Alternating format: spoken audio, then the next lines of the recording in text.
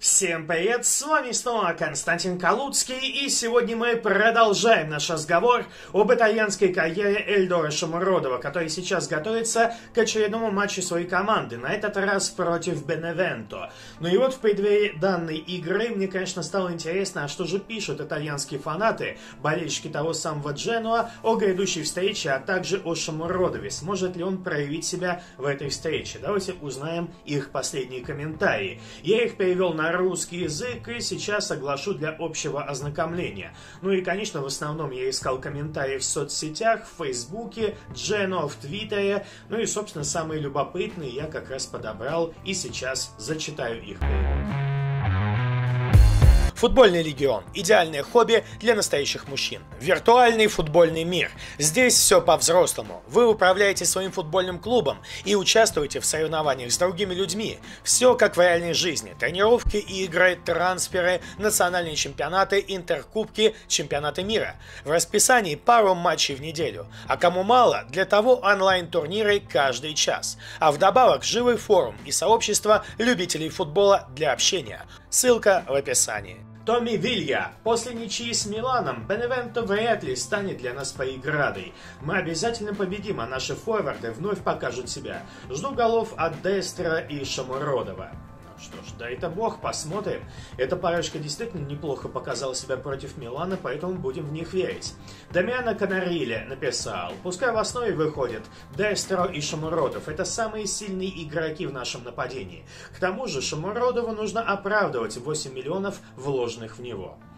Ну что ж, опять же посмотрим. Здесь на самом деле Шамуродов уже в каком-то смысле начал оправдывать деньги, которые в него вложили, потому что и гол забил, голевую передачу, и помог забить Милану. После его удара был отскок на Дестро и был забит мяч. Поэтому здесь, на мой взгляд, ситуация достаточно перспективная для Эльдора. Он, я думаю, сможет себя как следует проявить в ближайших матчах. И тогда вопрос касательно трансферной цены, он будет снят. Валентина Тито. В прошлом матче Шамуродову немножко не хватило для того, чтобы забить. Теперь, я думаю, он забьет. Соперник уже не такой сложный. Но опять же напоминаю, его удар, опасный поворотом Милана, был отбит Донарумой и на добивании уже сыграл Дестро. Джованни Ангелини. Думаю, нужно выставить тот же состав, что и с Миланом, особенно если говорить о нападающих. Мы наконец-то нашли оптимальное сочетание впереди. Ну, мы тоже будем надеяться, что Дестро Шумородов это теперь основная связка. Росальба Санторо написал. Надеюсь, Маран снова оставит Скамаку в резерве. Шумородов сейчас больше заслуживает места в основе рядом с Дестро. Ну, если брать Скамаку, начал он за здравие, пока что играет за упокой 5 матчей, по-моему, у него без забитых мячей, или 6 уже. Марко Рабья. В игре с Миланом Шумуродова остановил Донарума. Ну, а у Беневента такого голкипера нет, поэтому я жду забитых мячей от Узбека.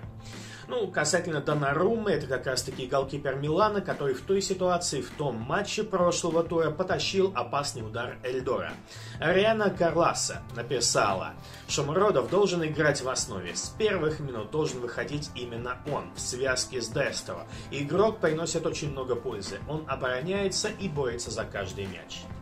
Ну, тут опять же не поспоришь, Эльдор очень трудолюбивый форвард. Джино Анна написала, узбекский бомбардир скоро начнет забивать. Гол и голевая передача в последних матчах – это добрый знак. Чуть не забил Милану – это тоже добрый знак, там спас голкипер.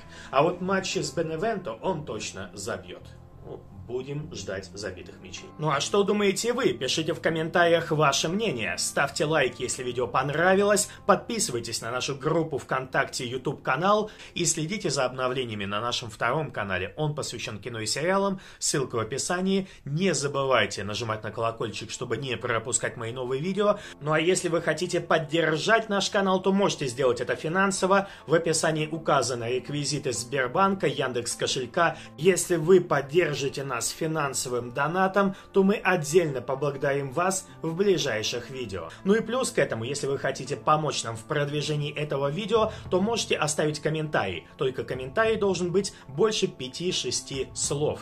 Всем удачи, всем пока!